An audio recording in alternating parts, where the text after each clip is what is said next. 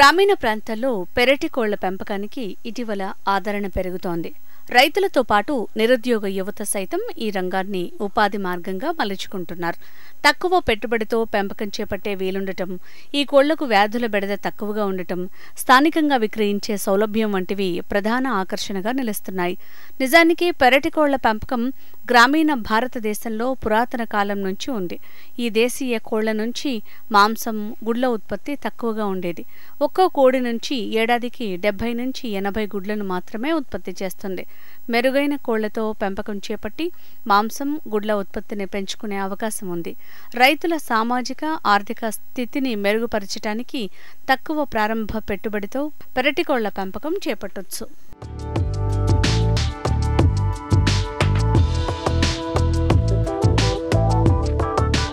పెరటి కోళ్ళకు ఉండాల్సిన మేలైన లక్షణాల్లో ముఖ్యమైనది వాతావరణం. పెంపకానికి ఎంచుకునే కోళ్ళు స్థానిక వాతావరణానికి అనువుగా ఉండేలా చూసుకోవాలి. మంచి సంతానోత్పత్తి సామర్థ్యం కలిగి ఉండటంతో పాటు మేలైన శరీర ఆకృతి ఉండే పెరటి కోళ్ళనే పెంపకానికి ఎన్నుకోవాలి. రంగురంగుల ఈకలతో ఆకర్షణీయంగా ఉండటంతో పాటు ఇతర జంతువుల నుంచి తప్పించుకునే సామర్థ్యం కలిగి ఉండాలి. ముఖ్యంగా వ్యాధి నిరోధక శక్తి ఉండేలా చూసుకోవాలి.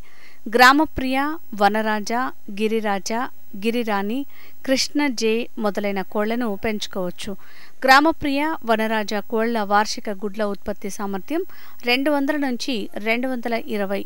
పోషకాహారం ఇతర నిర్వహణ పరిస్థితుల్ని బట్టి రెండు వందల నుంచి రెండు వందల ముప్పై రోజులకు గుడ్లు పెడుతుంది.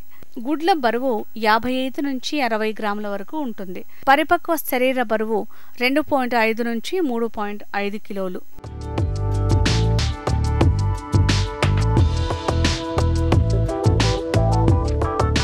పెరటి కోళ్ళ పెంపకానికి విస్తృతమైన షెడ్ల నిర్మాణం అవసరం లేదు. ఎండ వాన జంతువుల నుంచి రక్షణ కల్పించేలా వసతి ఏర్పాటు చేయాలి. పగటిపూట ఆహారం కోసం వదిలి రాత్రిపూట షెడ్లోకి తోలాలి. షెడ్ని తూర్పు పడమర దిశలో నిర్మించాలి.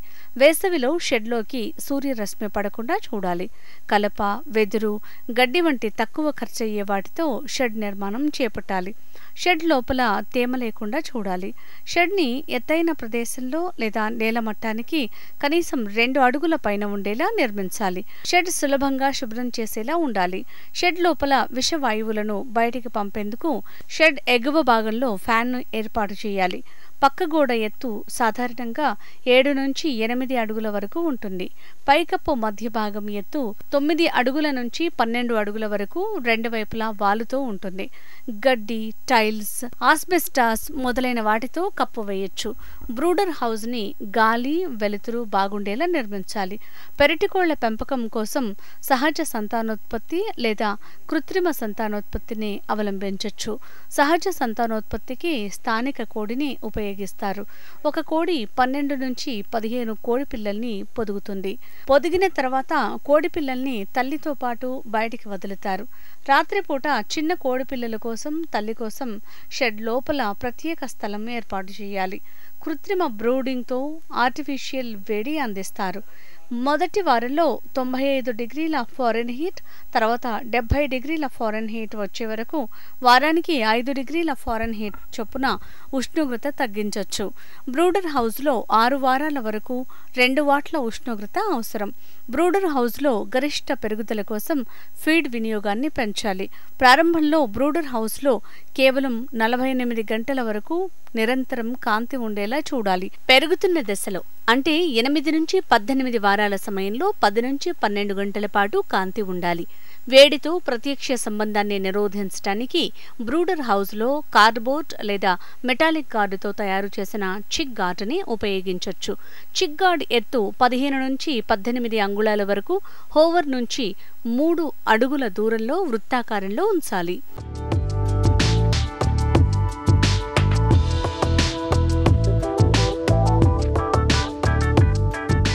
పౌల్ట్రీ ఉత్పత్తిలో మొత్తం వ్యయంలో డెబ్బై శాతం మేరకు ఖర్చవుతుంది. కానీ పెరటి కోళ్ళ పెంపకంలో దానా ఖర్చు తక్కువగా ఉంటుంది. ఈ కోళ్ళను మేత కోసం ఆరు బయట వదులుతారు. ఇవి కీటకాలు నత్తలు చెదపురుగులు గడ్డి కలుపు మొక్కల విత్తనాలు మిగిలిపోయిన ధాన్యాలు పంట అవశేషాలు గృహ వ్యర్థాల నుంచి అవసరమైన ప్రోటీన్ శక్తి ఖనిజాలు విటమిన్లు మొదలైన వాటిని పొందుతాయి. వర్షాకాలంలో దానాలో ఫంగల్ పెరుగుదలను నివారించడానికి నెలన్నర కంటే ఎక్కువ నిల్వ చేయకూడదు.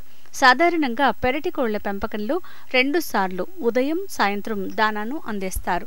మొక్కజొన్న వరి తవుడు గోధుమ ఊక వేరుశెనగ పిట్టు ఫిష్ మీల్ లైమ్ స్టోన్తో పాటు ఉప్పు ఖనిజాలు విటమిన్లు లేదా స్థానికంగా లభించే పదార్థాలతో తయారు చేయొచ్చు. కోళ్ళ దానాలు స్టార్టర్ లెవెల్లో కనీసం ఇరవై శాతం గ్రోవర్లో పదహారు శాతం మాంసకృతులు ఉండాలి.